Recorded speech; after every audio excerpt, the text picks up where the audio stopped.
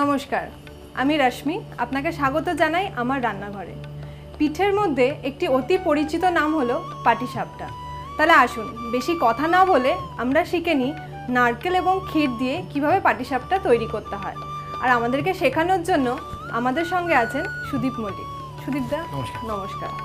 আর সুদীপদাকে সাহায্য করার জন্য ওনার সঙ্গে আছে চন্দন। নমস্কার। চন্দন আমাদের পিঠে পুলি আর পায়েসের স্পেশালিটি ক্রাফটসম্যান আগে আমাদের দর্শককে বলে দিন এটা করতে আমাদের কি কি উপকরণ লাগছে?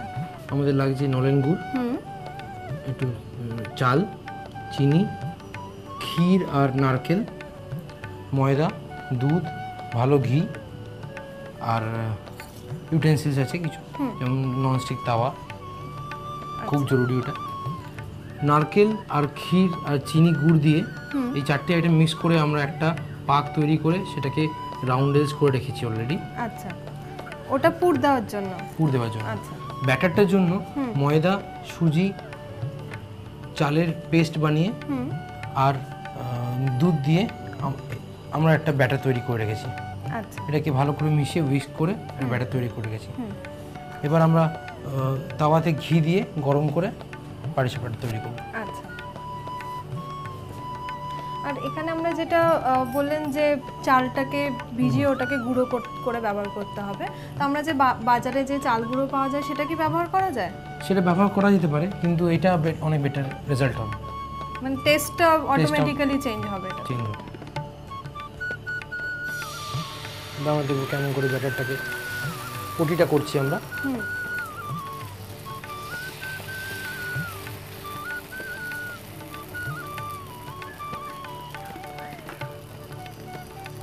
এর মধ্যে আমরা ফুটটা দেবো।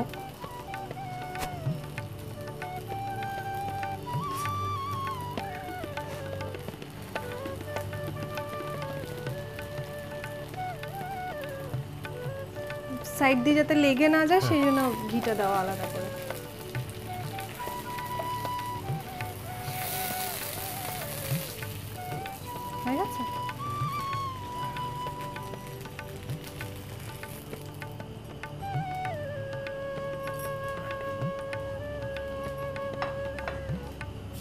বেশ সহজ জিনিসটা। সাউথ ইন্ডিয়ানরা যেমনি ডোসা করে সেইভাবে সেই একই প্রসেসে আমরা এটাকে করছি। কিন্তু একটু মোটা রাখতে হবে। ডোসা যেমনি একদম পাতলা থাকে সেরকম না করে এটা একটু মোটা থাকবে। ধোসাটা ক্রিস্পি হয় এটা কিন্তু ক্রিস্পি না। হ্যাঁ।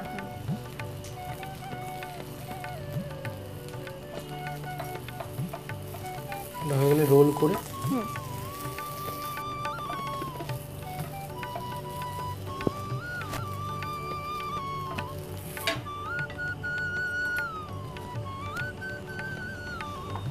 নলেন গুড় হুম। আমরা পাটিসাপটা গরম গরম সার্ভ করব। পাটিসাপটা রেডি আমাদের গরম পাটিসাপটা রেডি গরম গরম পাটিসাপটা গুড় দিয়ে খেতে কিন্তু বেশ ভালো লাগে।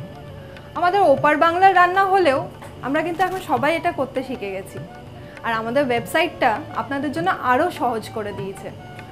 মনে হচ্ছে কোথাও যদি মিস করে গিয়ে থাকেন তাহলে আমাদের ওয়েবসাইটটা দেখে নিন। আমি আসি ভালো থাকবেন। নমস্কার।